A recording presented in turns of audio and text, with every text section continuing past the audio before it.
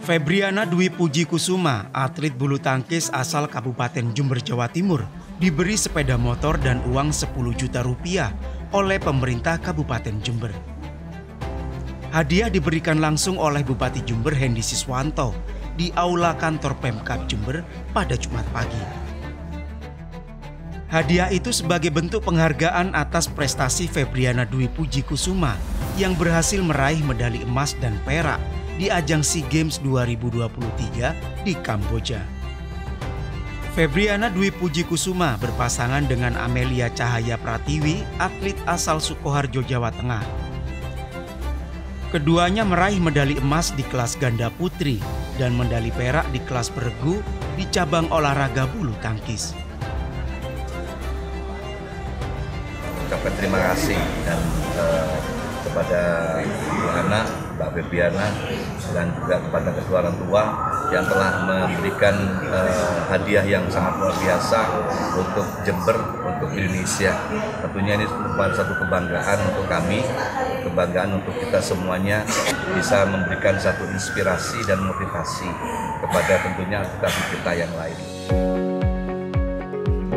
Atlet kelahiran 19 Februari 2001 ini bersyukur atas prestasi yang telah diraihnya.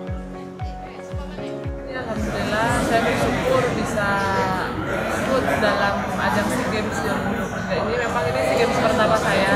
Dan Alhamdulillah saya bisa mempersembahkan medali untuk Indonesia, untuk Jember dan yang pasti untuk uh, seluruh warga Indonesia yang telah mendukung dan mendoakan saya, seluruh warga Bapak Bupati Jember, terus memberi semangat, memberi perhatian dan apresiasi tentunya. Orang tua Febriana Dwi Puji Kusuma juga bangga atas prestasi anaknya. Kami sangat bangga sebenarnya puas dengan hasil yang dicapai itu merupakan podium tertinggi di tapi eh, kita juga kalau bisa ya jangan puas sampai di situ nanti di level yang lebih tinggi kita harus bisa lebih meningkat lagi. Usai mengikuti SEA Games 2023, Febriana akan kembali bertanding di sejumlah kejuaraan seperti Malaysia Master 500 dan Indonesia Open. Hernawan Mustika, Kompas TV Jember, Jawa Timur.